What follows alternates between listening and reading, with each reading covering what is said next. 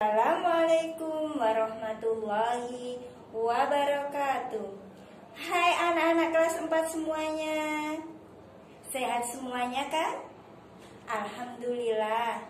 Hari ini kita akan belajar Al-Islam tentang sifat-sifat Allah. Perhatikan ya penjelasan dari Ustazah. Sifat-sifat Allah yang nomor empat adalah Al-Baqa Sifat Allah Al-Baqa artinya yang maha kekal. Beda dengan makhluknya yang mempunyai sifat fana. Artinya binasa.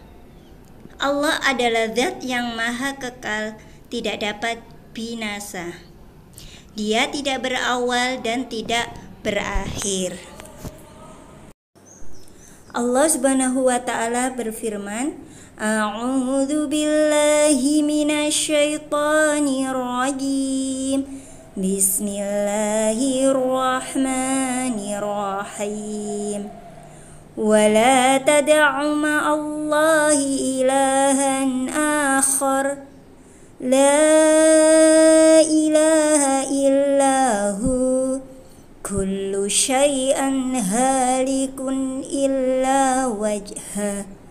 Lahul hukmu wa ilaihi turja'un. Yang artinya janganlah kamu sembah di samping atau menyembah Allah Tuhan apa pun yang lain tidak ada Tuhan yang berhak disembah melainkan Dia. Tiap-tiap sesuatu pasti binasa kecuali Allah. Baginya lah segala penentuan dan hanya kepada nyala kamu dikembalikan. Surat Al-Qasas ayat 88.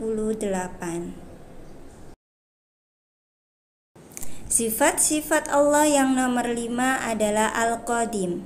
Sifat Allah Subhanahu wa taala Al-Qadim artinya maha dahulu.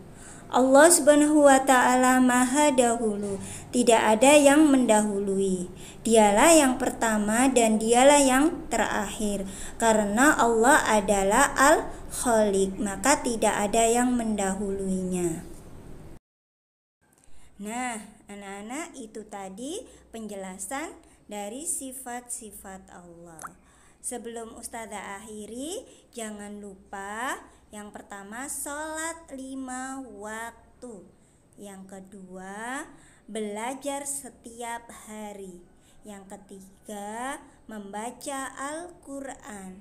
Yang keempat, membantu orang tua. Dan yang kelima, jaga kesehatan. Ustazah akhiri, wassalamualaikum warahmatullahi wabarakatuh.